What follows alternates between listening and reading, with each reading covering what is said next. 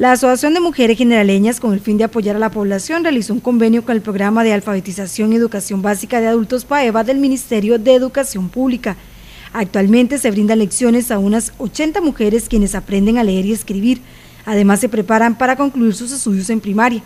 Son tres grupos y ya el próximo año tienen una lista de casi 100 personas, por lo que esperan abrir un grupo más. Eh, ahorita tenemos entre 75 y 80 señoras. Para el año entrante ya tenemos una lista de 95 en espera que tenemos que hablar con don Freddy a ver si sacamos otro recarguito por medio del Ministerio de Educación para, eh, en vez de tres grupos que tenemos actualmente, tener cuatro. Hay uno en la mañana aquí, otro en la tarde acá en la Casa de la Mujer y el de la noche trabaja en la Escuela Sagrada Familia porque ahí se le ha dado la opción de que ingresen. Hay como dos o tres varones en el de la Escuela Sagrada Familia en la noche. Muchas de las mujeres que llegan al mismo no saben leer y eso se convierte en una buena oportunidad. Nosotros aquí manejamos alfabetización, personas que llegan que ni siquiera saben leer ni escribir, a pesar de sus avanzadas edades, pero es una satisfacción tan grande verlas. Yo contaba la, el año pasado eh, una señora que lloró el primer día, como cuando usted lleva un niño a kinder o a materno,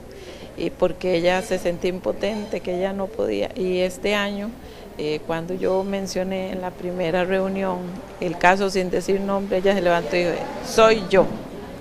Asimismo, reciben a muchas que no concluyeron su escuela, por lo que se les brinda todo el apoyo. Eh, que tenían su primero aprobado, que es segundo, tercero, indistintamente, bueno, del grado, entonces así les va va, va, a tener que estar más años, digamos, preparándose para su sexto grado.